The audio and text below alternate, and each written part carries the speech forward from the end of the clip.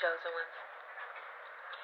You are doing the best that you can with where you are currently, mentally, emotionally, and spiritually. So, your higher self, your spirit guides, your angels, your divine holy mother and father are not expecting you to be at such a high level that you are not at yet. Let me say that again.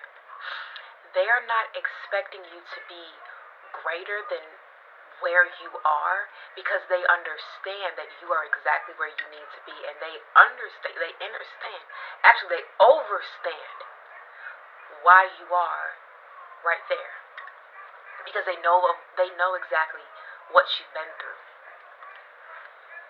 okay your higher self your angels your spirit guides your divine holy mother and father they all of you all know exactly what you've been through and why you are right here in this very moment. They understand where you are spiritually because they know of all of the spiritual attacks that you've endured. They know the type of emotional pain that you're that you're healing from. They know the type of mental what's the word I'm looking for? conflict that you are in.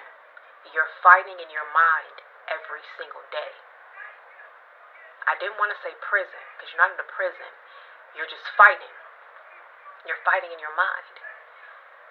They know that. Because truthfully, chosen ones, the reason as to why you feel you have to move a little slower, you have to take some time away from the priorities of life away from the hustle bustle to focus on the internal work is because you got to make sure that you are remaining grounded, that your vibration is staying high, that you're taking those breaks, that you are healing whatever pain that you have because truthfully chosen ones, you've been traumatized. You've been traumatized multiple times in your life and you're walking around carrying this trauma.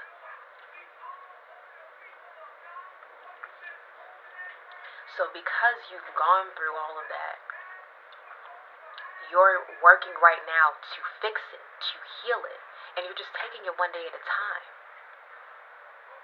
You don't have to be somewhere that you're not expected to be. Take it one day at a time and don't rush yourself.